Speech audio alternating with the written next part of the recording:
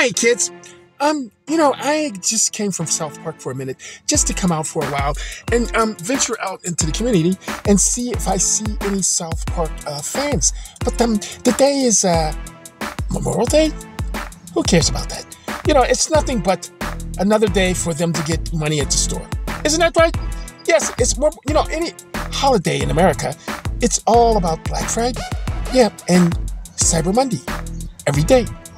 That's all they do is extort from you and try to get everything in their favor. Yes, in their flavor, uh, preferably uh, vanilla. You know, no chocolate. But anyway, I just wanted to say to you that um, I'm coming out to venture into the community, so South Park is here.